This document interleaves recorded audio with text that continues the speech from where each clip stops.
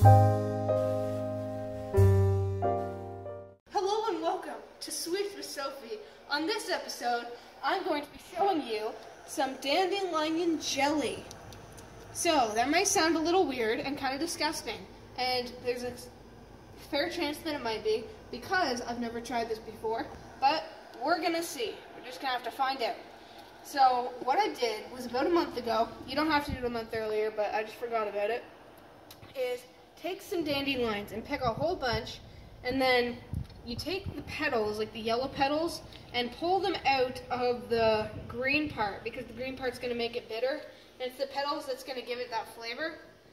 And so what you do with that is you put it in water, and then you just let it. Wow, that's boiling. Uh, you just let it kind of sit in the water, boiling hot water for a little while, and just let it steep. And then after one day, 24 hours, you pour it into a jar or container and keep it, and that's your dandelion tea. So what I did to make this, I took the tea and then I mixed the tea with a cup of sugar and one and a half tablespoons of pectin and also a half teaspoon of lemon juice and put it on medium high heat and we've just been letting it boil. So it's been boiling for about one to two minutes now. So what we're gonna do is try to skim off some of the foam with a spoon. And we'll put it in this measuring cup. Just gonna get some of that white stuff because we want this jelly to be nice and clear and bright yellow.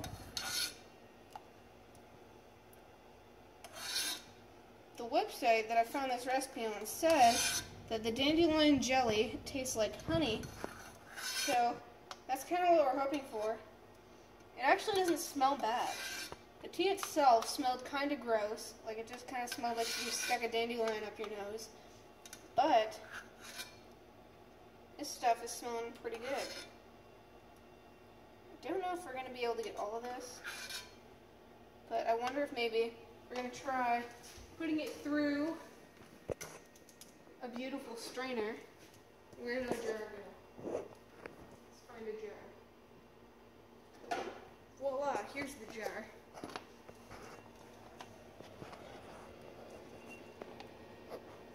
This might be a bad idea. Oh, yeah, it's working.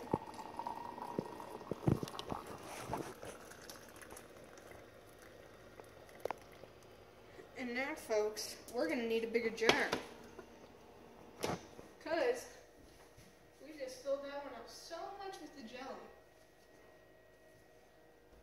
we'll take another little jar, about this size. We'll uh, now just pour the remainder of our jelly into the jar. Now we'll finish off by scooping even more of that foamy white stuff off. Just get as much as you can. It's not going to really affect the taste, I don't think. I think it's mainly just about the aesthetic and the appeal.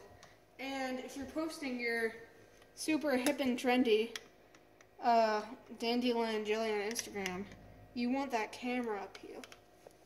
So let's say that's good. So I'm going to let it cool down a little bit. Then I'm going to put a lid on it and just stick it in the fridge. And we'll see you once it's solid. All right, welcome back to Sweet with Sophie on our venture of making dandelion jelly.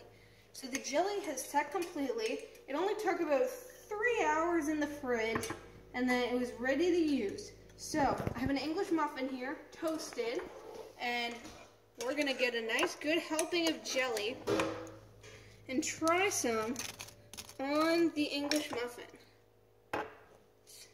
Get a good spread so you can really taste the flavor and really analyze it.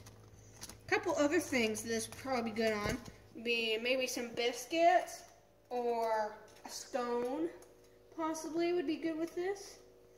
Alright, first taste. Here we go.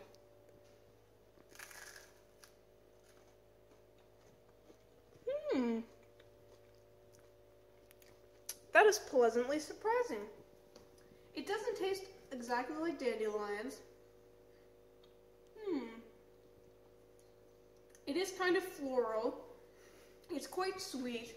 It does taste a little bit like honey, like the website said, not a lot. But it almost reminds me of apples for some reason. And there's only a half teaspoon of lemon juice in it, but it is quite lemony.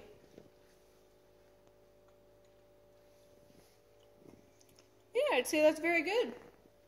You have a whole bunch of dandelions in your yard and you want to invest a good amount of time into making some jelly out of it, I would recommend this recipe.